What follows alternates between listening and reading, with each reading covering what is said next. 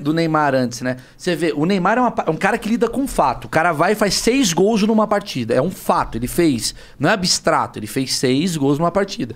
Não tem como você falar que ele não jogou bem. Seis gols numa partida, é um resultado. Você vai, vai no Twitter e fala: Eu não acho que ele é um cara tão bom assim. Você fala, "Ah, putz, tá.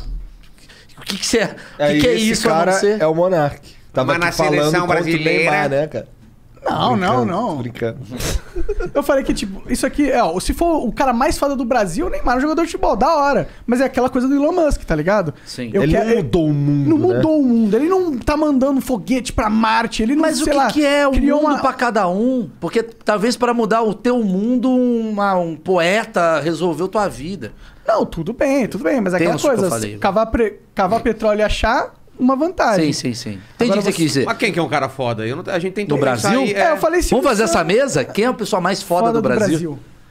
Puta, pior que eu, eu vou te dizer, eu não sei porque não ensina a gente no colégio, ou porque esse cara não sai na mídia, mas eu, não- eu, eu tenho muita dificuldade de pensar num cara muito Também. foda, assim, tipo.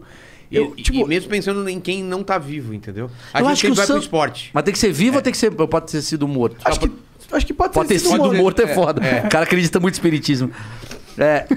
Não, acho que o Vai cara. que ele já reencarna. Eu acho que o cara mais Santos foda. Dumont foi foda. Eu ia falar isso. O cara É. mais foda do É. Brasil é Santos Dumont. É, Santos Dumont é um bom concorrente da parada. Ele, ele- ele revolucionou Não, e os a aviação. americanos são tão pau no cu que botam, não, não foi Santos Dumont, não, foi os irmãos lá. E o É. cara, caralho, mano, não tira isso nosso.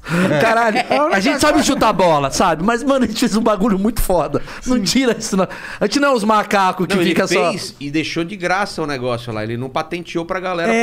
poder usar aquele barato. E... Mas é foda que o Santos Dumont, assim, posso estar falando merda. Tá, vamos Mas- fazer outro assunto então. Mas Vai ele vir. não era, mas ele não era um, um- ele era brasileiro, tal, mas era morava lá em- na França, né? Uma almofadinha lá que morava em É, ele era um Porra, cara velho. culto. Ele era É. filho de embaixador. algo Tudo assim. bem, mas caralho, que bom, porque se ele fosse um cara que lançasse o avião em Sorocaba, ninguém ia ver, caralho.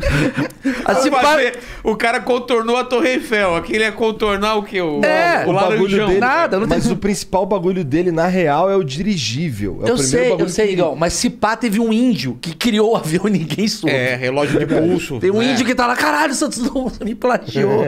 e você não sabe desse cara, é o, cara Bala voava- Bala O Buga. cara voava com asa e com o negócio na, na, na bunda, né? E- Ele levou o Brasil pro mundo. O Santos Dumont é o cara mais foda do, do Brasil. Pô, por É. falar em bunda aí, cara,